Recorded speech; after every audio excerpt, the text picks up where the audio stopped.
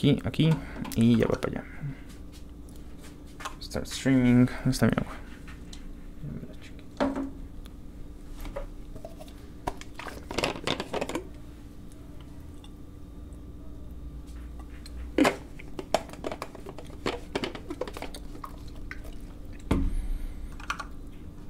este, este no.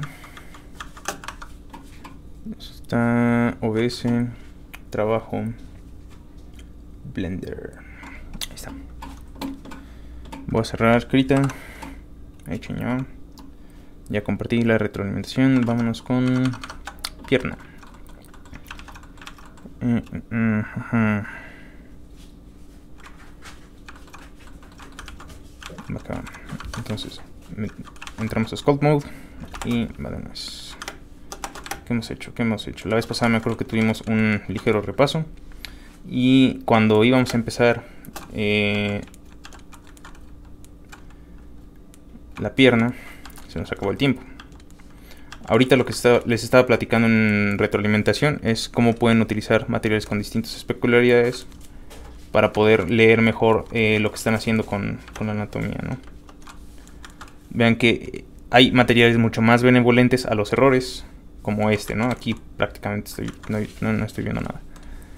Este puede ser bien buena onda con los errores, pero uno como este, por ejemplo, para cuando están esculpiendo superficies duras, pues no, no perdona, ¿no? Es bastante maldito. Pero ahorita sí quiero algo un poquito más tranquilo. Entonces, habíamos visto la anterior superior iliac spine. Anterior inferior iliac spine. Este twitch. Los strips. Y no quiero ignorar cómo podría llegar ahí la, la pancita. sección general. Pero bueno, eso lo voy a ir corrigiendo después. Solo quiero estar pensando en la anterior superior iliac spine. Deshabilitar wire. Y cómo lo voy a utilizar como origen del Sartorius. Acuérdense que cuando estábamos trabajando los ritmos teníamos eh, curvas que se contestaban no era nada más, por ejemplo, los músculos de gravedad, desde este lado, que eran los cuadríceps contra los gastrocnemios. Y en el brazo no era nada más eh, deltoides, al brazo, antebrazo. Eh, queremos evitar dentro de lo posible las líneas rectas en el cuerpo. Y,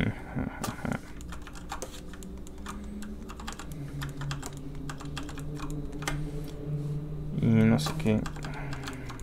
Qué tan sutil quiero que. Híjole, que me. Ahí está. Qué tan sutiles quiero que sean las referencias aquí.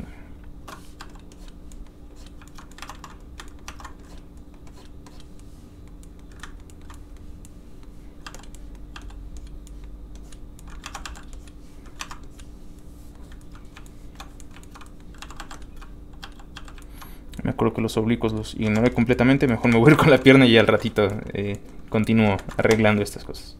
Entonces, teníamos el sartorius como esta eh, referencia muscular que va a través de la primera parte de la pierna y termina prácticamente en el... No me acuerdo si va hacia el tibialis. Eh, también, bueno, voy a empezar a esculpir y después me preocupo por eh, mostrar con Vertex Paint o algo así. ¿Dónde están? Tengo, así como en el tríceps, un tendón común. Tengo un tendón común del, del cuadríceps. Acuérdense, el tríceps tiene su tendón común, el cuadríceps también. Y este es al cual se van a conectar las cabezas. Acuérdense que eh, tendón es hueso-músculo, ligamento es hueso-hueso. Entonces también voy a tener un ligamento entre la patela y la tuberosidad tibial.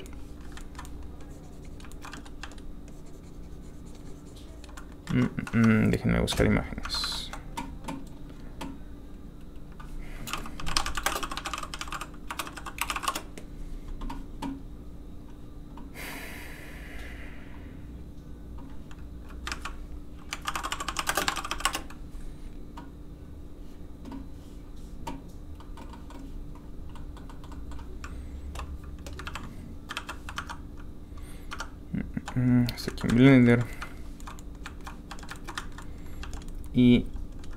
Ahorita siento que está muy delgada todavía la pierna.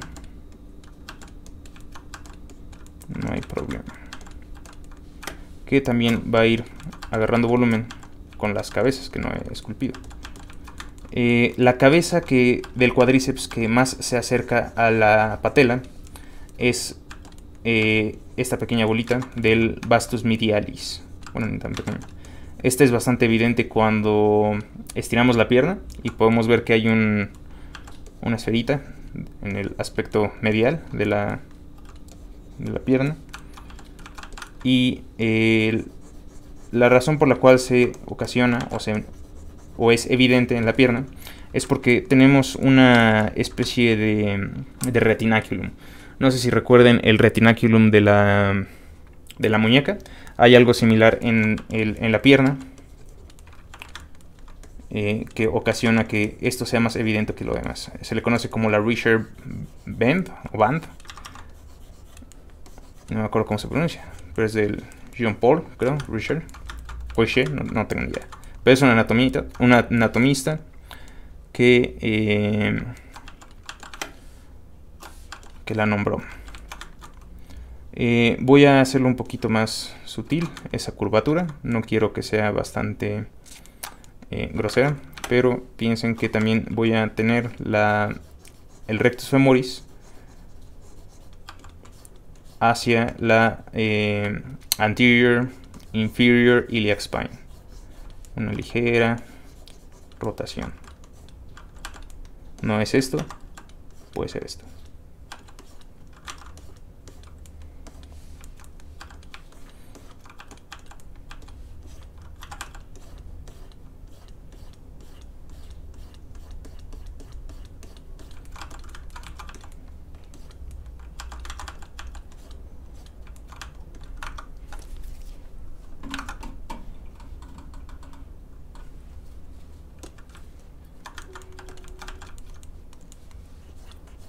La tercera cabeza que vemos del cuádriceps tenemos en el aspecto medial vastus medialis, lateral vastus lateralis y este de en medio es el rectus femoris.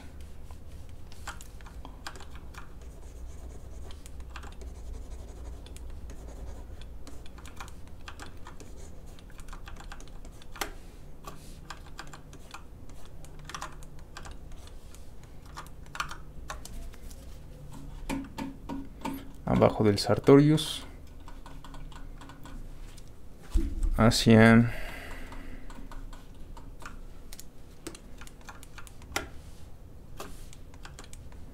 la anterior superior iliac spine. Perdón, anterior inferior. Hacia la anterior superior va la, el sartorius.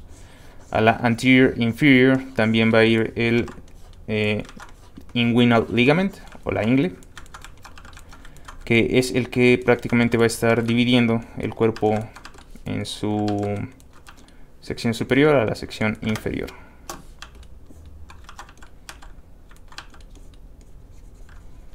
Lo siento, yo iré ya. Aquí no puedo ver nada porque me banean. Los hip adductors son unas referencias que el curso de anatomía que vi me acuerdo que platicaba que bien podrías implicar como un cambio planar. Control I para invertir la máscara y con Scrape con Plane Trim habilitado. similar al Trim Dynamic en ZBrush era lo que trabajaban esos buenos artistas. Solo piensen en que este, esta referencia muscular va a tener más o menos este sentido de las fibras, la dirección de las fibras en este sentido. Eso va a terminar con el vastus, no es cierto, bíceps femoris lateral y los restantes serían el semi-tendinosus y semi-membranosus arribita de la popliteal fosa que me acuerdo que eso sí lo pudimos cubrir la semana pasada como esta forma que en realidad es cóncava pero gracias a la acumulación de piel y grasa es convexa. Hmm. aquí tengo el gluteus maximus creo que es vamos a ver. Gluteus maximus. Y esto es lo que le comentaba a su compañera ahorita que mostró su avance. Creo que interrumpí los avances, ahorita los checamos terminando la transmisión. Y... Claystrix. Voy a ubicarlo aquí abajo del... Eh, ¿Cómo se llama? Triángulo sacral. Cubriendo el bíceps femoris.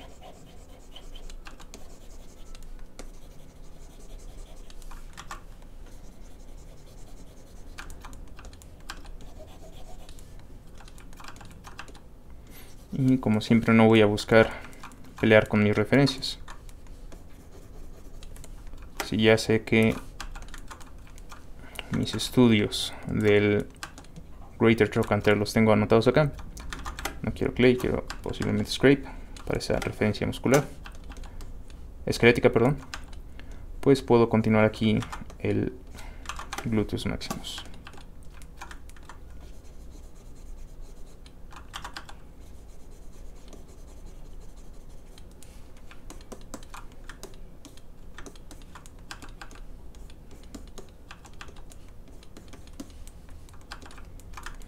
del gluteus maximus voy a encontrar el tensor fascia lateri. Perdón, después del gluteus maximus, gluteus medius. Y ahora sí, el tensor fascia lateri. Estoy pensando en la iliotibial banda. Gluteus medius. Y tensor fascia lateri que va a la anterior superior iliac spine.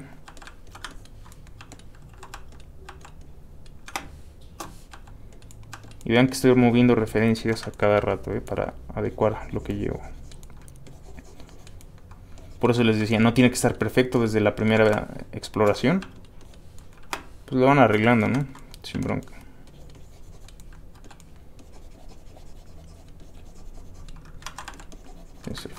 y aquí la iliotibial banda. Esta es una que va a cubrir el, el vastus lateralis.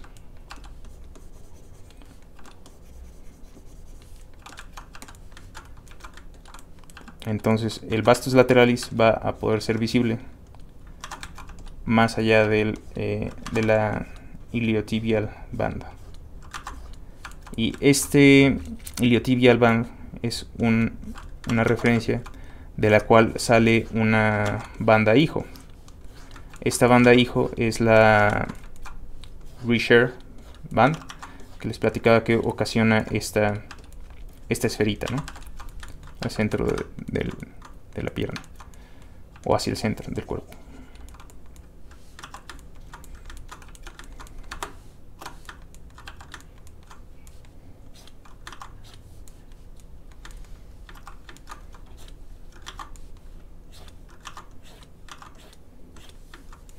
Ya después lo iré corrigiendo. Pero bueno. Habíamos platicado de los gastronimios. Tenemos eh, la cabeza medial, el gastronimius, este lado. La cabeza lateral y el soleus.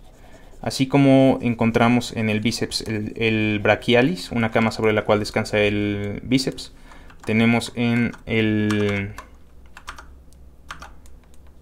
en el Solius una cama sobre la cual descansan los gastronimus.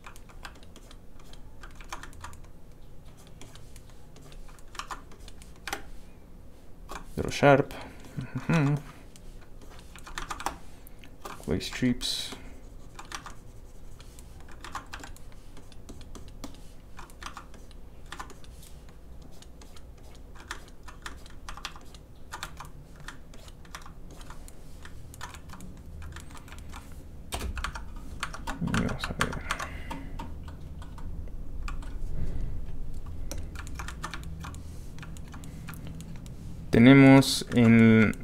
La rodilla, habíamos visto también la clase pasada, aparte de este tendón común.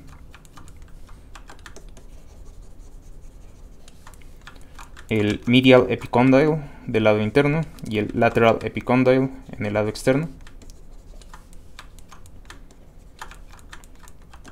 que son eh, la manera en la que descansa el fémur sobre la patela. Los manillos.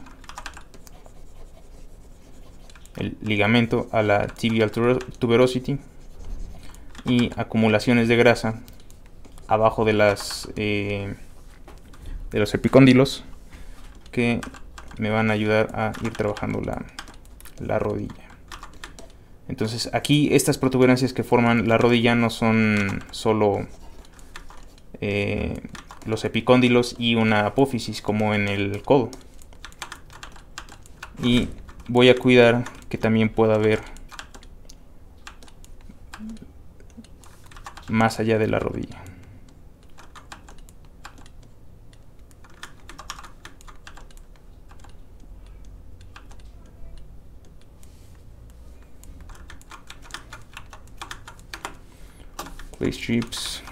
Acuérdense. Si hay algo raro en la silueta pues hay algo raro en la silueta. Prefiero darle prioridad a la legibilidad a eh, lo que esté detallando en figuras. Como quiera todo lo voy a terminar suavizando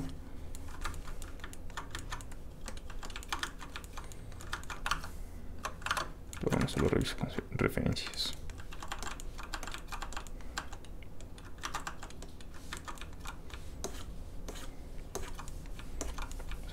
tantito, pierdo el ruido.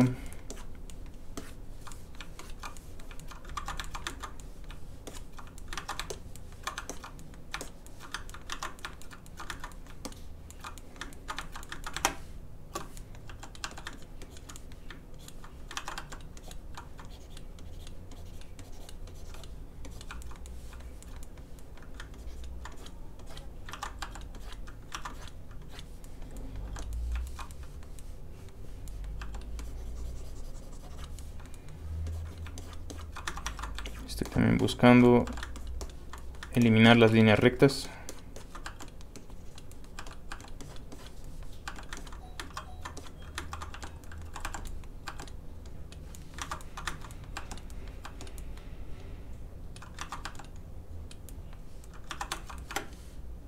Esto lo voy a tener que arreglar después.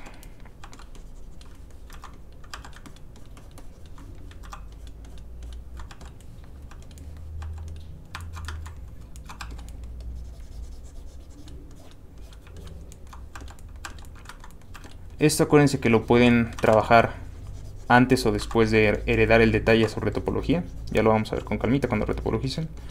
Y también por eso me quito el miedo de, de tener que dejarlo perfecto. Eh, en mi caso, yo sí ya lo tengo retopologizado. Ya después platicamos con ustedes lo de la magnetización de la retopología.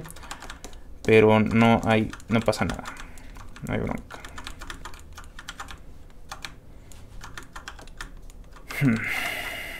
De la tuberosidad tibial, que es esta referencia esquelética, tenemos el tibialis anterior. Este es un músculo que salta la, tibia. Acuérdense que tengo el shin bone, que es esta referencia esquelética que viene hasta el pie. Y el tibialis anterior va a saltar esa referencia, la vamos a tener prácticamente de un lado para otro y va a conectarse en el arco del pie.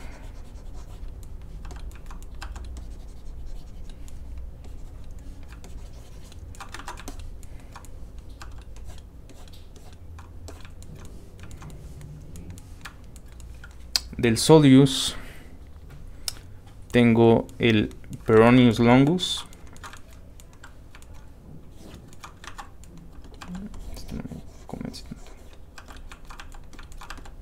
Peronius longus.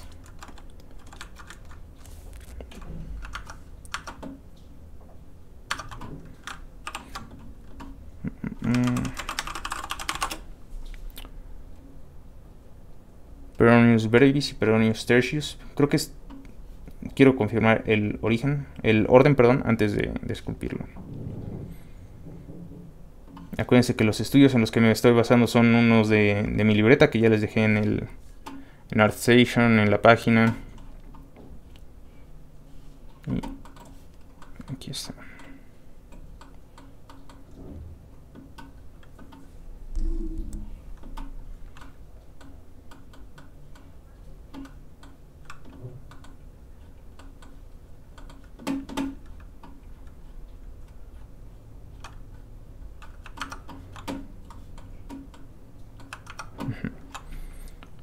Peronius longus.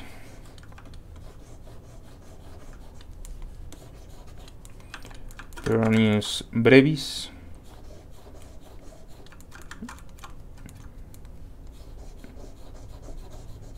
Y Peronius tertius.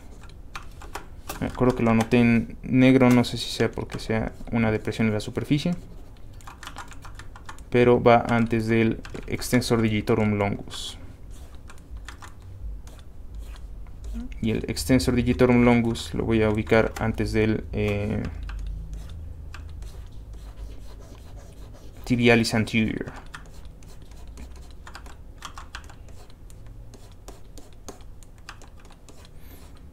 Hasta aquí lo voy a dejar. Y del otro lado tengo flexor digitorum longus. Y para la pierna nada más lo voy a ubicar así antes de el Solius. Me acuerdo que este sí lo extendí un poquito.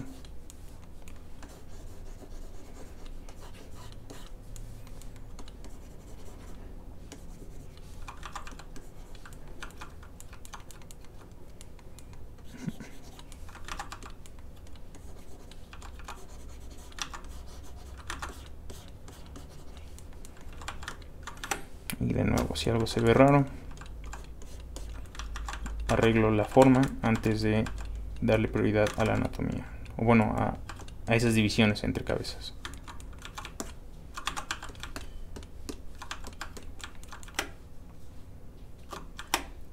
Flatten con una intensidad ligera puede ayudarles a limpiar la textura. Si el clay strip se hizo demasiado y no quieren suavizar la ubicación, con este es más que suficiente. Me acuerdo que es algo que vi que Tim Simpson hace para evitar eh, que sus texturas estén demasiado ruidosas.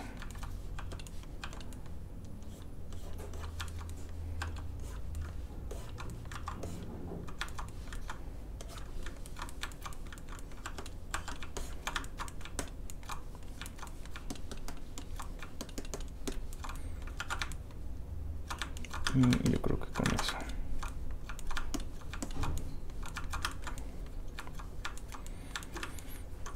Entonces rápido con Texture Paint. A ver si no rompo esto. Parece que no.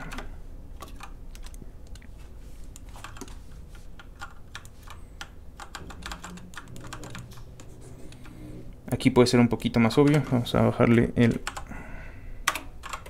nivel en Level Viewport, que es el que voy a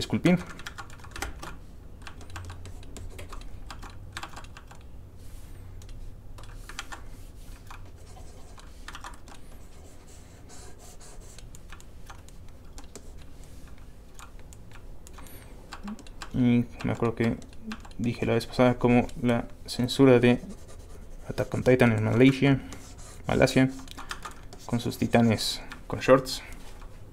Ya ni les mandé las imágenes, pero sí, sí. Fue divertido, fue divertido. La gente estaba muy desesperada por el nuevo capítulo. Estábamos.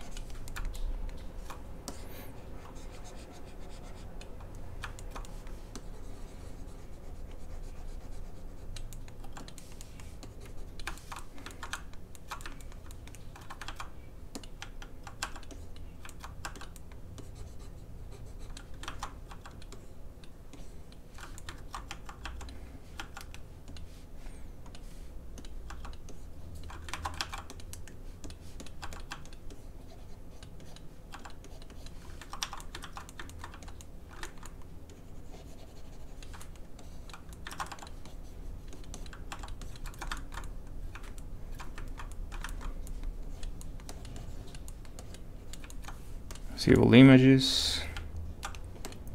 Overlay.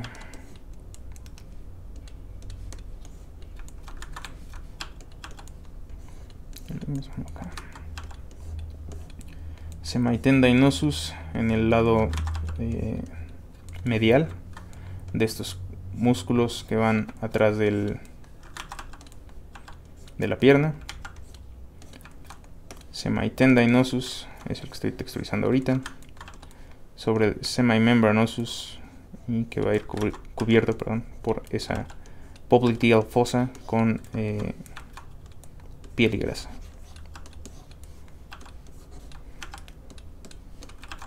Mix.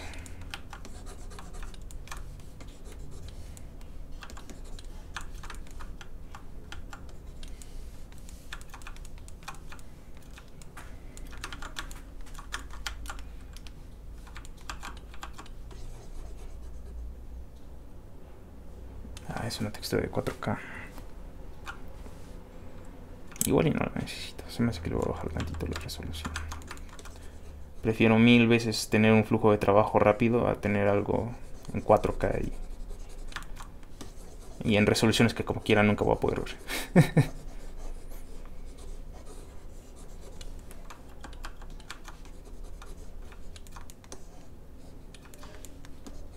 Recuerden que ese es el presupuesto poligonal, bueno, el presupuesto de mapas para este proyecto.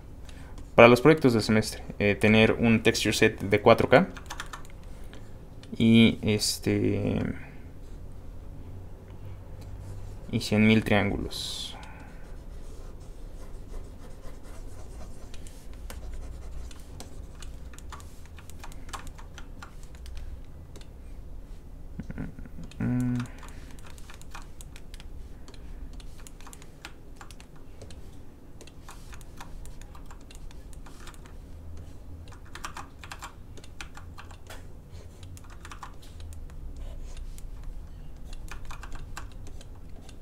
Estaba platicando con una amiga que me gusta cómo puedo pasar del hand paint, bueno, de las acuarelas, a estar pensando en eso cuando estoy pintando o buscando acercarme al hand painted, ¿no? Tengo eh, ya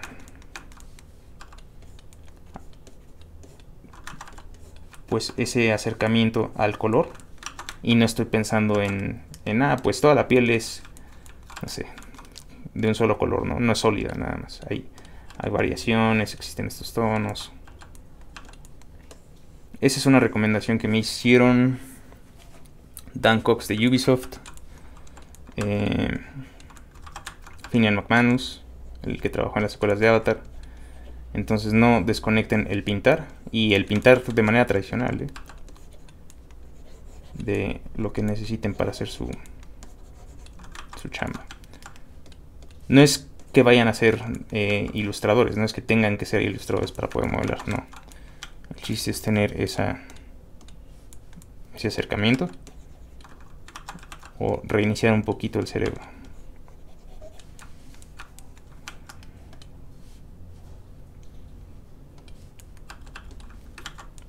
Y decía, el aprendizaje no es unilateral, ¿no? El chiste es que lo que aprendas en 3D te... que todo el aprendizaje funcione, ¿no? Si estás pensando en algo que estás estudiando en 3D y estás de terco en pensar en cómo aplicarlo en 2D, tal vez no sea el camino, sino estar pensando en... Ah, es que no quiero alfa. Sino en abrazar el aprendizaje como conocimiento y ya después aprovecharlo. Perdón, me estoy yendo a texturizar cuando estoy ignorando lo que acabamos de ver. Entonces, ya vimos el, las cabezas del cuádriceps. Eso también es algo importante. No estamos viendo todas las cabezas del cuádriceps, no estamos viendo todos los músculos. ¿Qué es mejor para las sombras? ¿El color complementario, obvio más oscuro, o el mismo color pero más oscuro? No sé si el complementario, porque el complementario va a llevar a negros. Lo que yo hago con la piel es buscar eh, implicar distintos, distintas cargas de sangre, tal vez. Por ejemplo, en, en este tono base,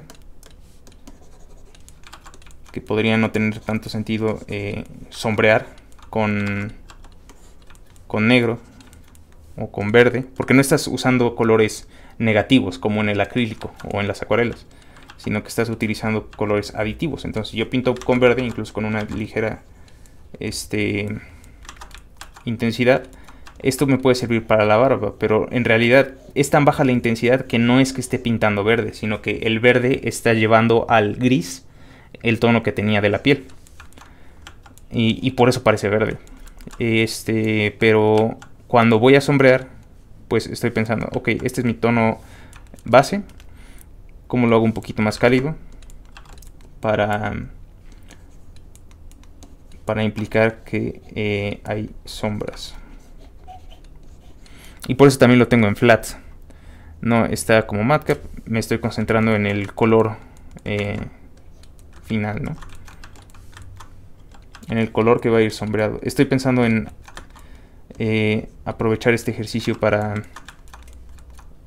para unos retos personales que tengo ahí de hand painted o de NPR que es non photorealistic rendering y eh, aunque estés utilizando distintos métodos de de mezcla en las brochas, como ahorita voy a empezar a utilizar este... Ah, ¿cómo?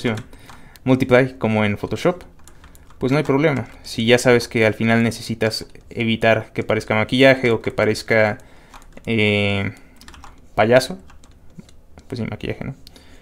Puedes unificar los tonos. Agarras tu tono base, pones mix, bajas la opacidad y pintas encima. Me acabo de acordar que es textura 4K. No, pero bueno, eso me sirve. Eh, cuando ya veo que, que fue demasiado. Y también puedo utilizar eh, o implicar esparcimiento de subsuperficie con add. Control Z para que veas sin, con. Y algo similar voy a utilizar en la oreja. No es que esa vaya a ser la tonalidad final, ¿no? Pero, pero lo aprovecho.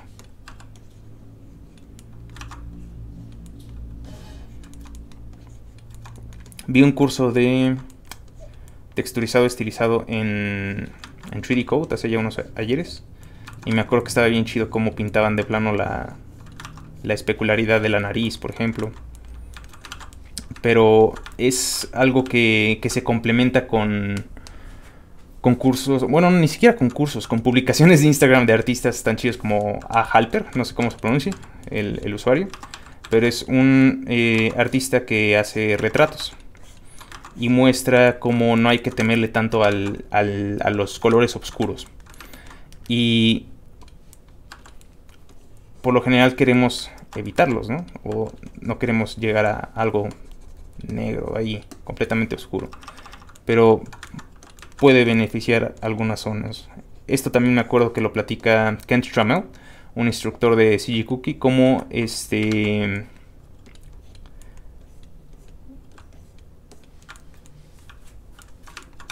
Ah, ah, ya, el tono de piel. Este, como no es que necesites una textura del cachete, sino que sepas más o menos qué tono puede existir en la piel del cachete. Piensa, por ejemplo, en las axilas. Y en la textura de 4K deben ser acomodadas todas las texturas o parte cada una. No, todas. Este, el pelo, la armadura, la tela, lo que sea que vayas a ir utilizando para tu personaje. Ahí va a ir. Eso va a ser lo divertido, por eso se los aviso desde el principio de semestre.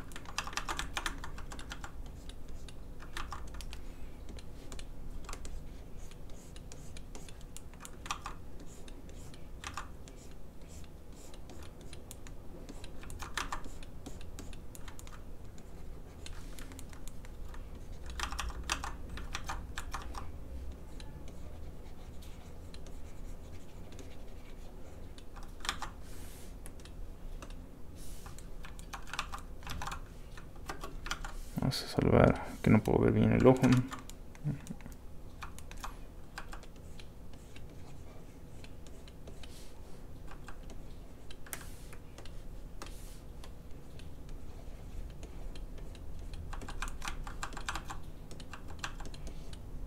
Y probablemente esto lo termine sustituyendo, ¿no? Por un ojo ya bien hecho, pero por lo menos para la eh, previsualización me sirve. Nos va a pedir requerimientos en cuanto a materiales, pues que usen los mapas. Y no es necesario que todo lo pinten a mano como yo aquí de terco en, Blender, ¿no?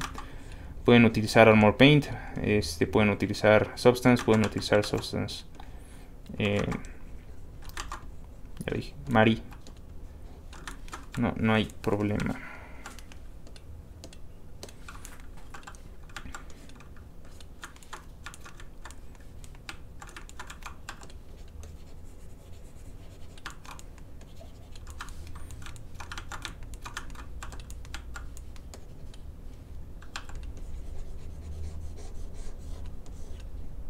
Vean cuánto color voy a recuperar. Siento que está bastante blanca la cabeza.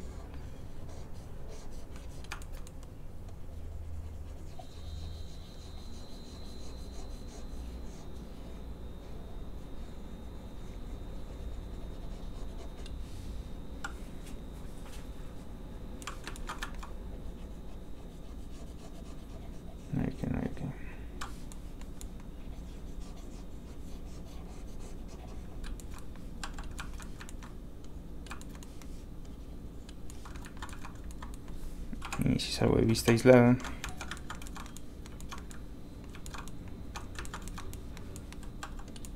Ya voy viendo cómo estoy texturizándolo. Entonces te digo, no es sombra como rojo nada más, perdón, como negro, sino depende. Si es una eh, zona bastante cargada de sangre como las mejillas o como la nariz, pues ahí sí lo enfatizo.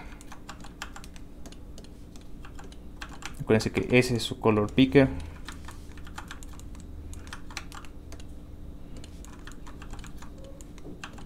Sin miedo. Vi unos ejercicios de 3D, de eh, estilizado en 3D que, me hicieron entrar en dilema. Porque me acuerdo que esto lo publiqué en, Instagram, cómo debería ir el, el. Y la votación bien chida, 50 a 50, entonces... Ah, decisiones. Pero ya, ahí voy a encontrar un, divertido punto medio.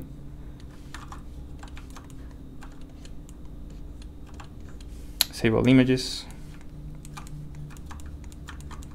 Y lo mismo que con los ojos. Ah, ah, ah, para los dientes. Ni los dientes, ni los, eh, ni los ojos los voy a dejar en blanco.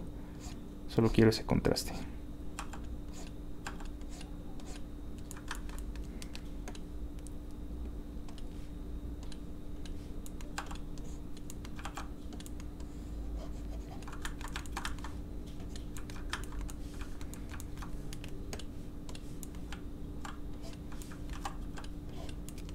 Puedo aprovechar el tono para indicar el piso de la nariz. Pero bueno, eso ya lo iremos viendo con el con las referencias musculares y esqueléticas del rostro.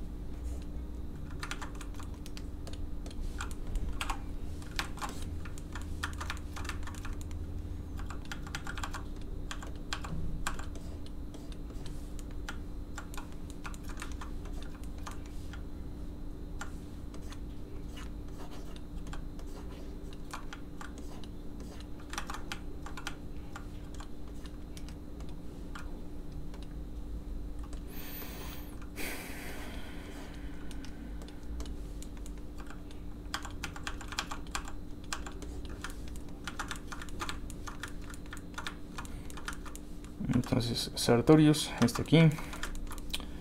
Eh, rectus femoris, al anterior inferior iliac spine. Vastus medialis con la Richard band o band. Vastus lateralis al exterior. El tendón común de las tres cabezas que estamos viendo, La cuarta no nos interesa porque no tiene efecto en la superficie que, que debamos estudiar ahorita. Pero ahí aprovecho para mencionarles algo que platica Ryan Kingsley, es uno de, los desarrolladores de ZBrush, sobre el aprendizaje de anatomía. Que pueden no eh, aprender todo de solo estar pensando en anatomía para el artista. Él platica cómo eh, terminó aprendiendo un montón de referencias hasta viendo Grey's Anatomy, ¿no? O porque tiene su... ya debo dejar de decir, ¿no? O porque tiene su mejor amigo que es un cirujano plástico. Entonces, el aprendizaje viene de todos lados. Sin.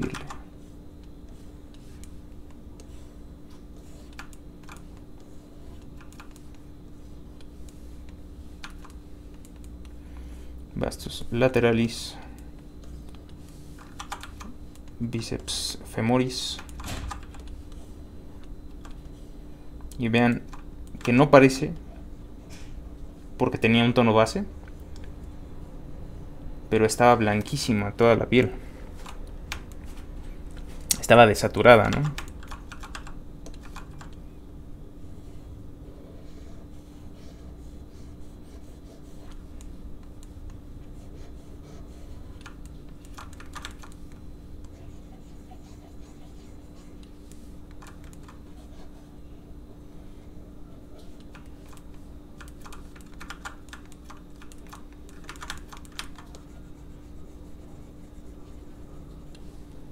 Algo que por lo general eh, ignoran cuando están trabajando en el, en el, cabello es texturizar el cuero cabelludo. Eh, Jere ya tiene el cabello blanco, ¿no? Entonces ahí va a estar interesante, pero lo voy a implicar un poquito gris, cafezoso. Porque necesito estar pensando en, en que a pesar de las haircuts debe haber textura. O sea, el cabello no va solo eh, modelado, también iría pintado aquí para que los huecos entre las haircuts no, no vayan a un tono de piel nada más.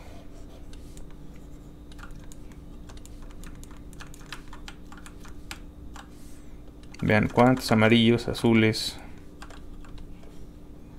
morados vean la piel. No se ven por ahí.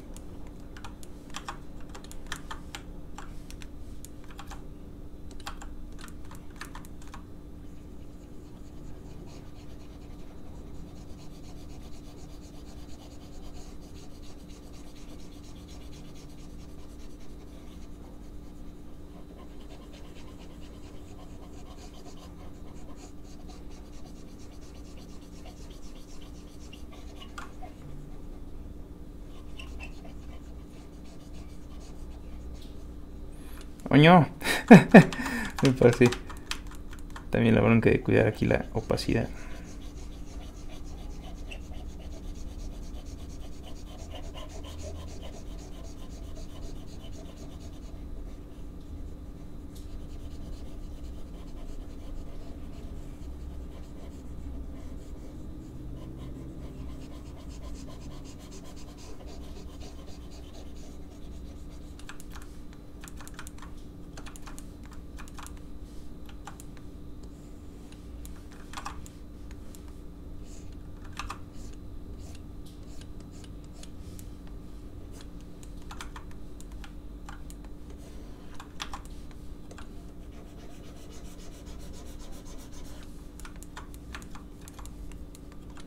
Pero bueno, eso ya va a ser un juego de paciencia. Todavía tengo que arreglar anatomía, ordenar mapa de normales. Lo estoy, estoy texturizando una escultura, ¿no? Con detalle de alto poligonaje. No, no es tan eficiente esto.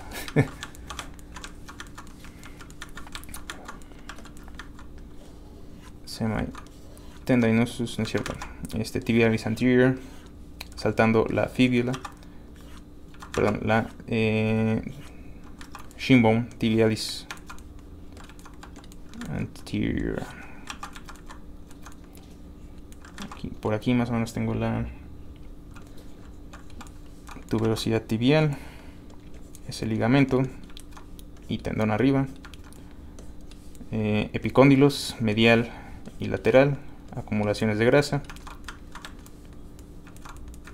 gastronemios abajo de la popliteal fosa, Solius abajo eh, de el gastrocnemius, de las cabezas del gastrocnemius.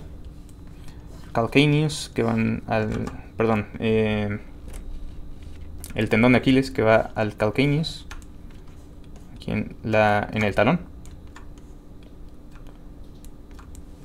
Tengo eh, Peronius longus, Peronius brevis, Peronius tertius y el extensor carpi, es cierto, extensor digitorum longus.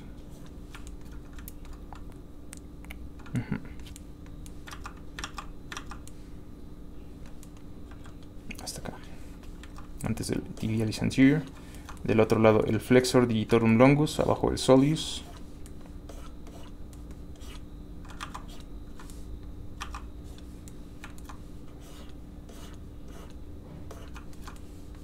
Y pues todo lo iré unificando. Lo marco al principio y ya después como acá arriba. Puedo utilizar un mix brush con una intensidad bastante ligera para evitar que parezca tan contrastado, ¿no? Y esto apenas les platicaba hace ratito, creo que lo tengo que hacer con, con un retrato. Entonces no es nada más estar pensando en en modos de, mezcla para las brochas, sino cuál es el resultado, eso es lo que importa. Necesito que no se vea contrastado, necesito que se vea contrastado, me gustan algunos tonos. No estoy pensando en, ah, es que la brocha solo me deja hacer esto, no. Al revés, ¿no? ¿Qué quiero? Y ya después me preocupo por cómo lo hago.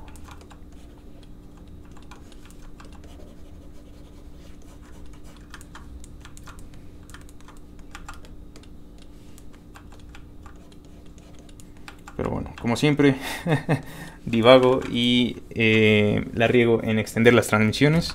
Porque ahorita no estoy transmitiendo sin frenos, sin, fin, ¿no? Nada más es para que lo tengan aquí lo de pierna. Eh, y pues voy a continuar de regreso en Teams y vamos a dejarlo así. Qué creepy se ve. Todavía. Vamos a ver texture. Ahí está. Y se ve igual de creepy. ¿Por qué se ve así? Bueno, ahí que el Luis del futuro lo arregle. Pero bueno, terminar esto y vamos para Teams.